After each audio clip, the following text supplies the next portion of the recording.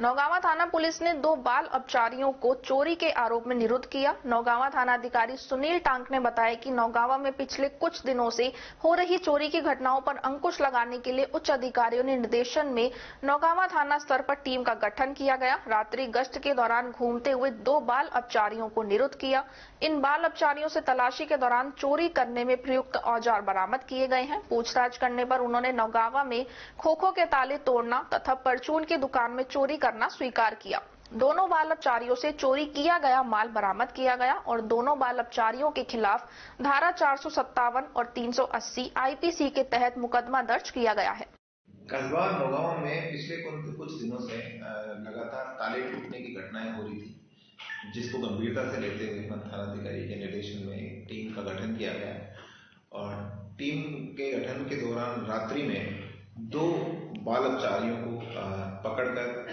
में घूमते हुए देखा, उनको रोककर पूछा तो उनके पास में जो है चोरी का सामान बरामद हुआ। जैसे पूछताछ की गई तो उन्होंने कस्बा नौगांव में जो चोरी की घटनाएँ थी, वो स्वीकार की। मुकदमा पहले से दर्ज था, उक्त आरोपियों दोनों को निरुद्ध किया जाकर कर और बाल सुधार गृह भिजवाया जा चुका है और चोरी का माल उनसे बरामद किया गया।